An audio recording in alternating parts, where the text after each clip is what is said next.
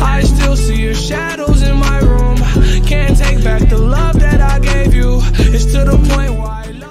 Yo, what is going on, buddy? It's Fastmosis here, back with another video coming to you guys, and we're taking video. And today we're gonna be going over the best hop step in the game right now.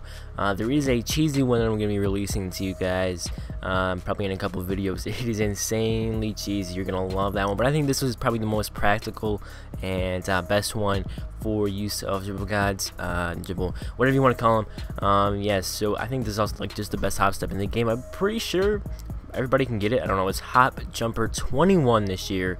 Uh, for your information. So you see, I don't know. I was just working on a little bit of crossover spam. Um, if you guys want to see my sigs, uh, just drop a comment down below and I'll put out uh, video, video for all my signatures and all my jump moves, all that good stuff.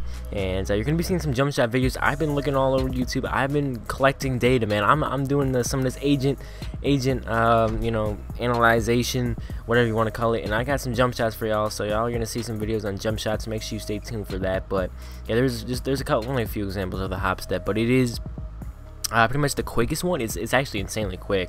Um, and I think the, you see how nice that was? And then you get a speed boost right off of it if you have 86 ball control. See that? That was a nice combo and you get that nice hop step boom and you can speed boost off of it do a little bit of a pullback.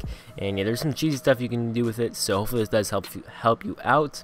Um, yeah it's pretty much the best hop step in the game. If you got all if you guys also want to see how to do like a Shammgod dribble or any of that, I'm pretty sure it's pretty basic, but uh, if you guys want to be able to know how to do that, or even like my, my rhythm dribble, it's pretty easy. Um, you know, you'll see that a couple times, and uh, yeah, if there's anything you want to know how to do, uh, let me know, and I'll do my best to do it too. But that was beautiful right there. Uh, do that little pullback and then the step back, and that's just perfect. So it's the same way last year, by the way. You do have to do it diagonally, the left stick diagonally.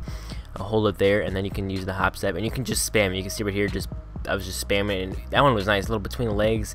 But uh, yeah, hopefully this did help you out. If you did, make sure to leave a like video and subscribe for more content. I got the best uh, pull-up jumper coming to you guys as well in the next videos. So make sure you stay tuned for that. I'll see you on the next one. Peace.